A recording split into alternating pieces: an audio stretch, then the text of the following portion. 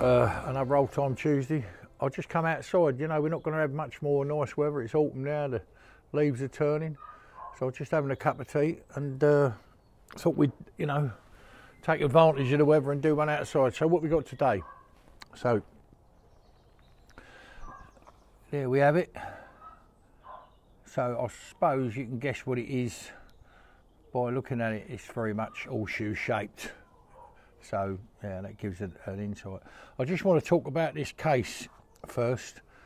I know I'll go on about this a bit, but workmanship is gone. You know, pride in in you know uh, what a man could do with his hands, stitching, sewing, make a suit for somebody. Um, everything's mass produced these days. He was all individually done. So when we look here at this stitching, I mean, it truly is for for what for what this is made for it just surprises me the effort that was put into it. If we come in here and have a look, you can see this stitching. I can't even count them to the inch. My eyes are not that good, but looking at it, it looks like one, two, three, four. Let's do a, try another piece. Oh, here you.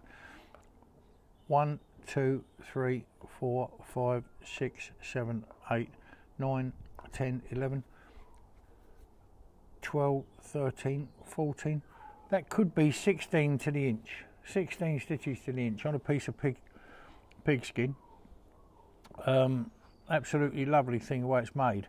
On the reverse side here you can see that this is laid down at some time and moved around like that yeah? Um, it had some loops on it at one time here. You can see this piece here had some loops on it and they've been replaced down here and you can look at this stitching here compared with this is truly incredible. For what this was made for, you know, uh, the, the, the amount of work that's gone into it. You can see where here, which is a terrible shame, just where here and it's broken and cracked away. Um, but anyway, let's have a look what's inside. So when we open it up, take a little shoe out.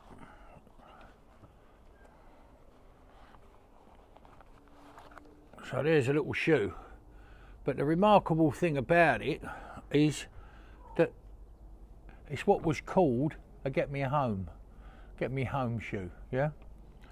Well, that's what I've heard it referred to as. The way the holes are punched in, you can see round here, three each side, not four and three. Um, and the way they're spaced apart, because it pivots and can open so it will fit a wide range just to get you home. So a lovely, lovely thing. All handmade. Um, just a just a lovely thing just to own. They obviously carry them on mail coaches, park drags. Most private vehicles would have had them on, but how many have survived? But this would have been made obviously for a pony coming down here Let's move this out of the way. You could come from this size down there. Also, the other thing is, if you look at it, you could make it a fore shoe. Fore shoes being round the front feet, in other words, is rounder, and the back foot is more egg shaped, if you like.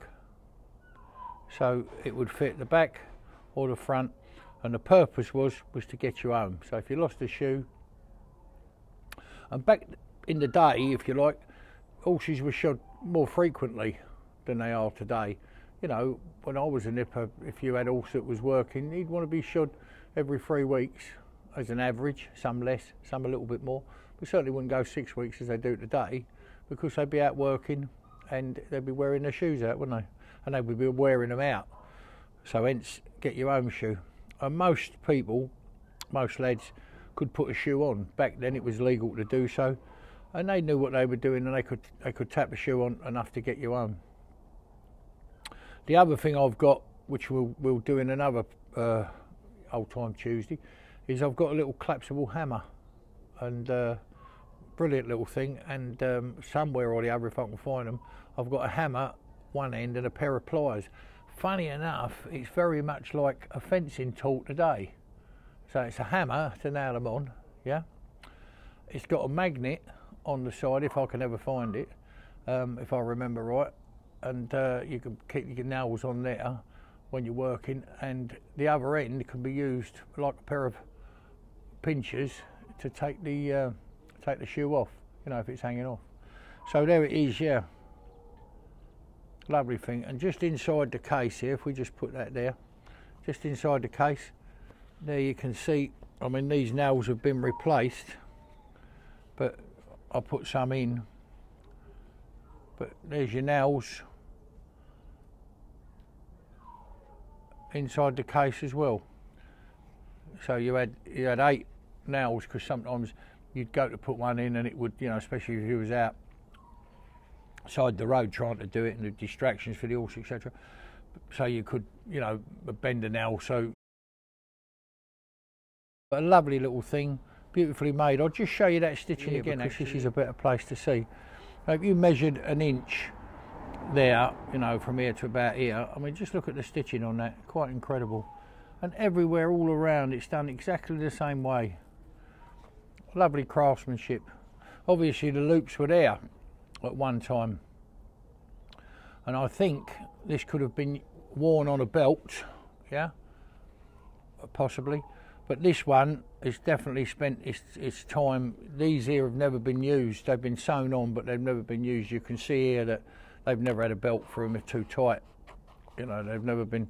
But this one is laid under the seat of a trap, I would think, and as it's moved around underneath, so it's worn through there. That wouldn't happen quite, well, it could have done, but it wouldn't happen quite so readily hanging on a someone's belt against a pair of breeches. So there you are. Get me home shoe. So it's a lovely morning. I'll finish my tea and get on with my work.